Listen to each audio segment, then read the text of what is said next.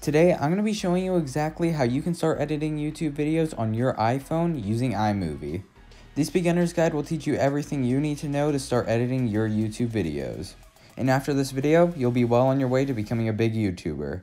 So, let's just get right into it.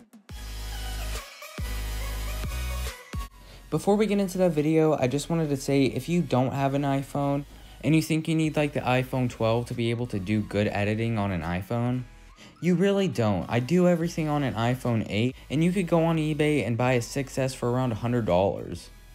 And it would do the same as my iPhone 8. But anyways, let's just continue with the video.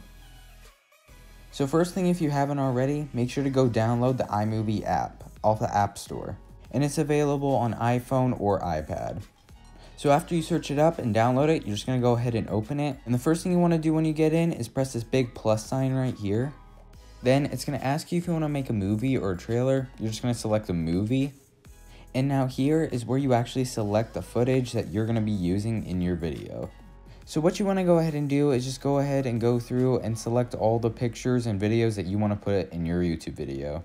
Once you're done selecting all your videos, you just want to go ahead and go to the bottom of your screen and press create movie.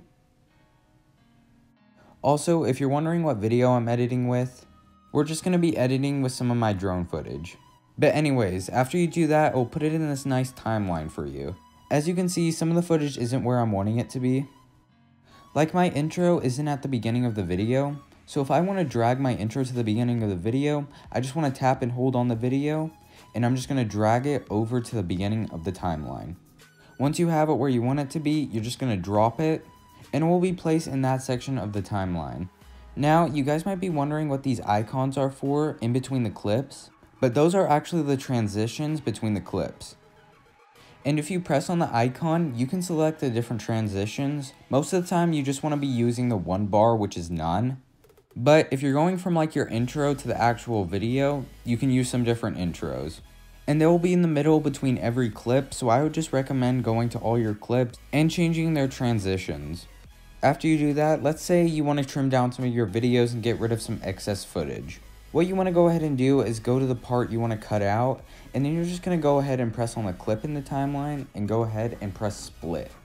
And then it will go ahead and split that clip into two different clips. And then you just want to go ahead and select the clip you don't want to keep, and you could just press delete. And just go ahead and keep doing it with all the clips that you need to do. Next, let's talk about when you select a clip on the timeline, what features it gives you. As you can see, when you press on the clip, this should be the first thing that comes up, and as you can see, you can split clips, duplicate clips, and delete clips like we've seen before. But now if we press the gauge icon, we can control the speed of the clip. So we can speed it up or slow it down. And the next one is where we can actually add text into our video. So you can just go ahead and go through all of these and find the one that you like, or the one that best suits the job. And then after you select which one you want, you just want to press on the text and then there will be a pop-up which says you can either edit or delete it. And then you just want to type in whatever you want to type in. And then just press done and you'll be all ready to go. And finally, the last one is filters, which to be honest, I've never really used before, but it's an option if you need it. Also, just something I do a lot in my videos, if you want to zoom in on a certain object, what you want to do is select the clip in your timeline, and in the upper right hand corner, there will be a magnifying glass, you just want to go ahead and press on that, and then you would just zoom in like you normally would on an iPhone or an Android and just adjust the footage to your liking. Now, let's just go over some of the features that iMovie has to offer that you would be using in your YouTube videos quite often. As you can see in the left corner of the screen, there's a plus icon. You just want to go ahead and press on that.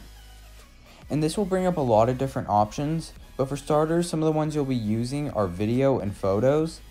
And those just allow you to add more videos and photos later down the line, maybe some ones you forgot from your original timeline. And to add videos or photos, you just want to go ahead and select either one, and then you select all. And here, you'll just go ahead and select one of the clips that you forgot or you just want to add in. After you do that, we'll add it in.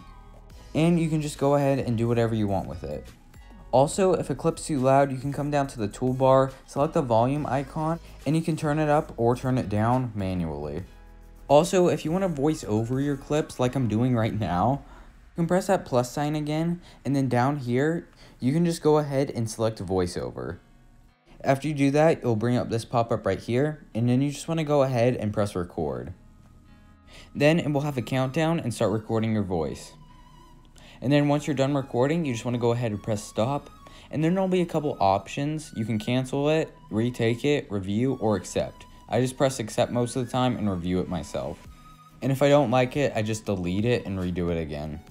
So let's say you want to add music now into your videos. What you want to go ahead and do is go back to the plus sign feature and you just want to go ahead and press on audio.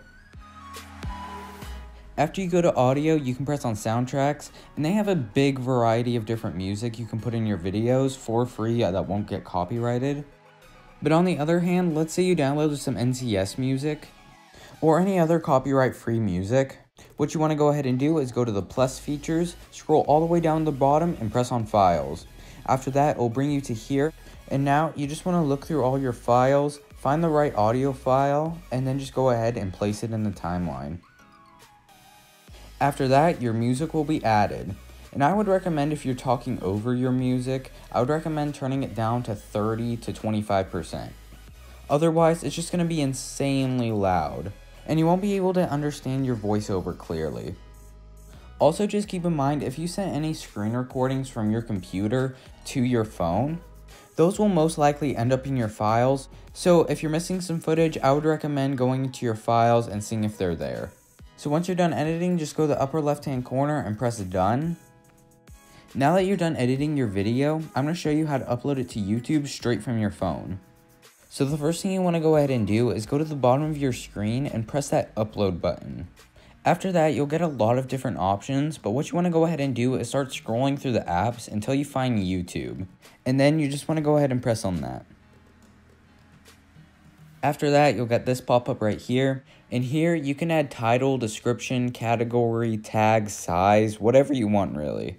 The only thing you can't add from here is a thumbnail, so I would recommend just uploading it as unlisted or private and then adding the thumbnail on a computer or the studio app. But that's just up to you. So last thing, you just want to go in the upper right hand corner and press share and it will start uploading to YouTube.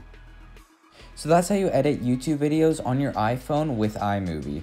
So thank you guys so much for watching this video, and if you haven't, give this video a like, and make sure to subscribe to this channel so you get more content just like this. Also, let me know down in the comments what tutorials and videos you guys would like to see. Because I'm always looking for new ideas and your help would be very much appreciated. So thank you guys so much for watching and I'll catch you in the next video.